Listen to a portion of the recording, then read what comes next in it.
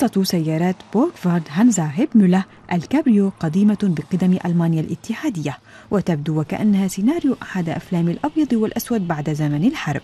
لكن موسيقى الفيلم لا تعزفها الأوركسترا وإنما اهتزازات المعدن في محرك بقوة 52 حصانا.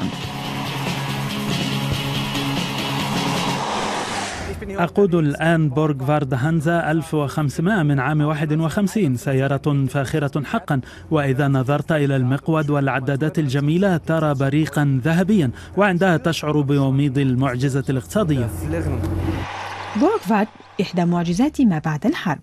فعندما عرضت هانزا 1500 في معرض جنيف للسيارات في مارس 1949 أحرجت منافساتها الألمانيات. فقد كانت أوبل وفورد ومرسيدس تعرض موديلات من الثلاثينات أي زمن ما قبل الحرب كما كان محرك هانزا متفوقا. محركها الرشيق الرباعي الأسطوانات قوته 52 حصانا بينما محرك مرسيدس 170 في مثلا أسطوانته أوسع ب 10% وقوته 45 حصانا فقط. السرعة القصوى الرسمية لهذه السيارة هي 120 كيلومترا في الساعة لكن الوصول إليها يحتاج إلى الكثير من الوقت والشجاعة لأن السيارة تهتز وتتأرجح في سيرها وأنا وصلت إلى سرعة 80 كيلومترا فقط في الساعة وهذا يكفي تماما. رغم هذا فإن المحور الخلفي للسيارة يمنح شعورا براحة فخمة بشكل مدهش. المنظر في الأمام مثير جدا. ربما ينتابك انطباع بأنك تقود سيارة ضخمة لكن الأمر ليس كذلك.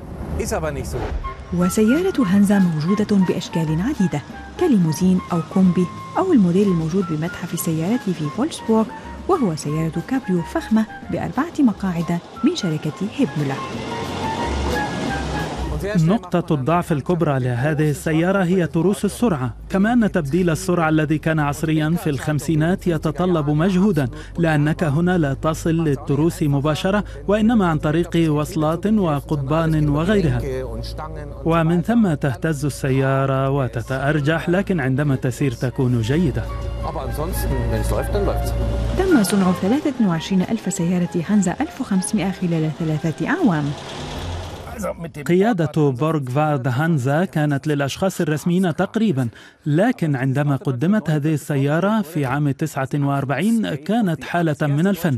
أول سيارة ألمانية بجسم عائم على النموذج الأمريكي وبقي كل شيء بسيطا القليل من الكروم والزخارف وبدون حواف أو بروزات.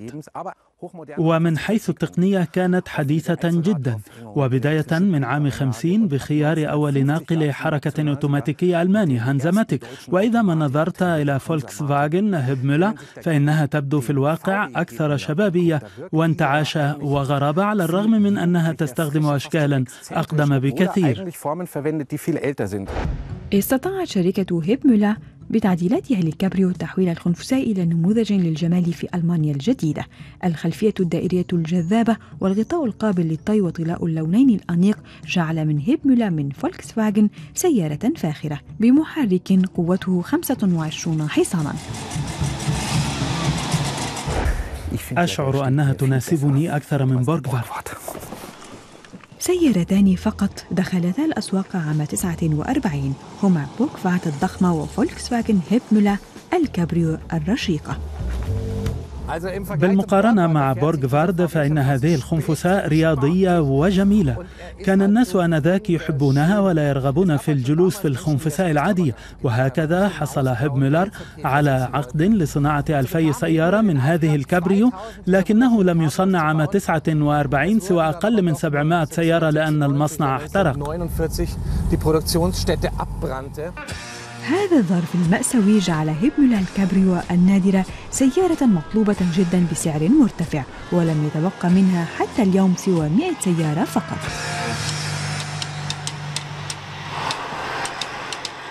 الثبات على الطريق كان تحديا كبيرا سواء بالنسبة لبورغفارد أو الخنفساء. ولا شك أن الإطارات الرفيعة والمحور المتأرجح من الأسباب التي تدعو للتركيز العالي عند القيادة.